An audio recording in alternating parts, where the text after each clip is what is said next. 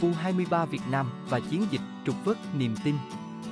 Đội tuyển U23 Việt Nam đã có mặt ở Doha, Qatar, chính thức bước vào hành trình vòng chung kết U23 châu Á 2024. Hơn cả một giải đấu, đây còn là chiến dịch khôi phục lại niềm tin cũng như tình yêu của người hâm mộ bóng đá Việt. Đội tuyển U23 Việt Nam đã có hai buổi tập tại Doha, Qatar. Đầu tiên là giáo án với khối lượng vận động nhẹ nhàng vào tối ngày 8 tháng 4, sau đó là các bài rèn kỹ chiến thuật vào chiều ngày 9 tháng 4. Ở những ngày đầu, huấn luyện viên Hoàng Anh Tuấn cùng các cộng sự cố gắng giúp các cầu thủ thích nghi với sự chênh lệch múi giờ, thời tiết, đồng thời giải tỏa áp lực tâm lý và truyền năng lượng tích cực. Như đã biết, đội tuyển, ở đây là U23, đang không ở trong bối cảnh lý tưởng. Liên tiếp các thất bại đã giật sập dự án của huấn luyện viên Philip Trusi và huấn luyện viên Hoàng Anh Tuấn, vốn đóng vai trò hỗ trợ, cung cấp nền tảng cho chiến lược gia người Pháp, này đứng ra tiếp quản công trình gian dở. Việc sửa chữa khó khăn hơn xây mới, nhưng cả thầy lẫn trò buộc phải làm. Và tất cả hiểu rằng U23 Việt Nam đến Qatar với trọng trách lớn lao, khôi phục niềm tin của người hâm mộ, đồng thời cung cấp các dấu hiệu tích cực cho tương lai của bóng đá Việt Nam. Những hàng ghế trống tại Mỹ Đình, tiếng la ó và không ít phản ứng tiêu cực trong ngày cuối triều đại Trusi là nốt trầm cuối. Đánh dấu điểm đáy của chu kỳ đi xuống. Huấn luyện viên 69 tuổi đã ra đi, nhưng bóng đá Việt vẫn tiếp tục, bắt đầu với nhiệm vụ làm sống lại bầu không khí sôi động thường thấy. Thấu hiểu điều đó, ông Hoàng Anh Tuấn nói rằng ưu tiên cao nhất phải làm sao để các cầu thủ thể hiện thật tốt về mặt chuyên môn, chơi cống hiến nhất. Người hâm mộ Việt Nam không phải những khán giả quá khó tính và đòi hỏi chiến thắng bằng mọi giá. Điều họ luôn muốn thấy là sự nhiệt huyết, thái độ thi đấu hết mình dựa trên lối chơi có nét.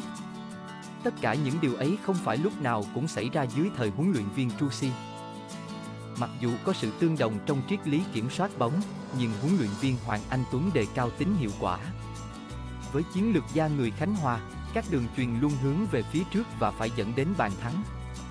Ông đòi hỏi tính kỷ luật, tức là cầu thủ phải làm đúng vai trò của mình trong cả một bộ máy, song vẫn cho không gian để học trò phát huy phẩm chất cá nhân và sự sáng tạo.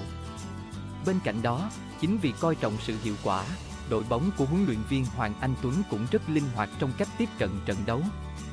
Có thời điểm họ sẽ chơi hoa mỹ song có lúc đá thực dụng, và với chiến thuật nào cũng rất giỏi trong kỹ năng chuyển đổi trạng thái. Đảm bảo tính đồng bộ, tốc độ và sự sắc nét. Tất nhiên, vòng chung kết U23 châu Á 2024 ở cấp độ hoàn toàn khác so với giải vô địch U23 Đông Nam Á mà huấn luyện viên Hoàng Anh Tuấn từng đăng quang mùa hè 2023. Uzbekistan, Kuwait và Malaysia chắc chắn sẽ mang đến những thử thách không dễ dàng. Trong trường hợp vượt qua vòng bảng, vươn tới vị trí trong top 4 cuối cùng, tương đương vào bán kết, nhằm hiện thực hóa mục tiêu giành vé đến Olympic 2024 mà huấn luyện viên Trusi từng đề cập, sẽ còn khó khăn hơn nữa.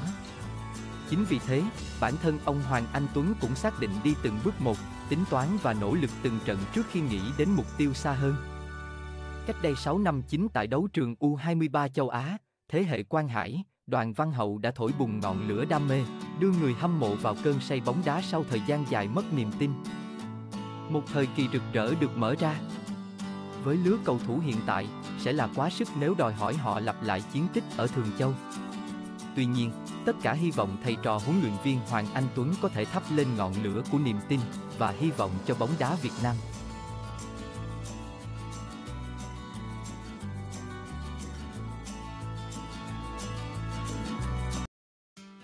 Cảm ơn các bạn đã theo dõi video. Hãy đăng ký bật chuông để lại bình luận bên dưới và hẹn gặp lại trong các video tiếp theo.